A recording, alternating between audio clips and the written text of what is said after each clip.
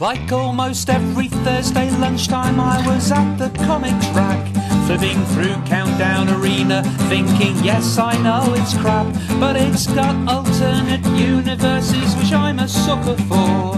Then I heard a voice I thought I knew, and looking up, I saw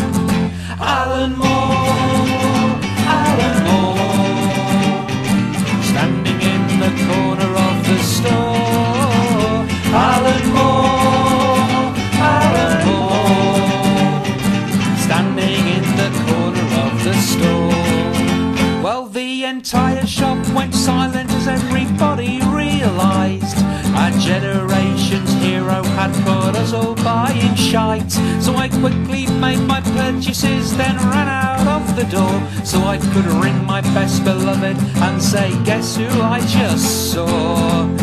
Alan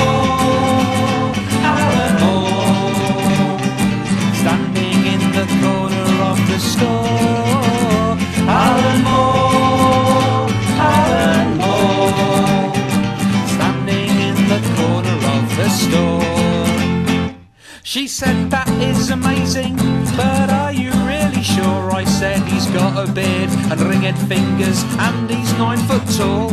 He cruises the Imagisphere and wields a warlock staff. With Glycon the sock puppet god and Cthulhu singing that. It's Alan Moore,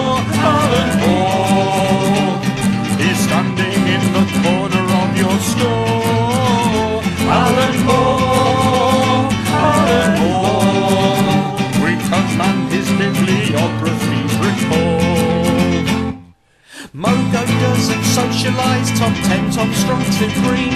Whatever happened to the man of tomorrow? Promethea, the League.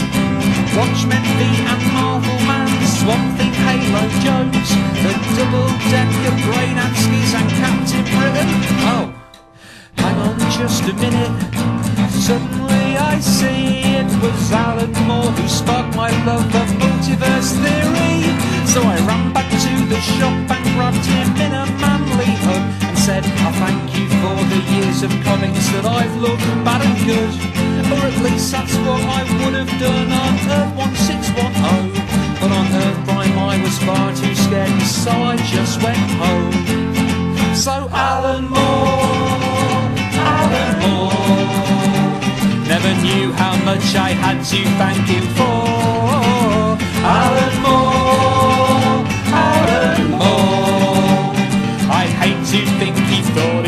I hate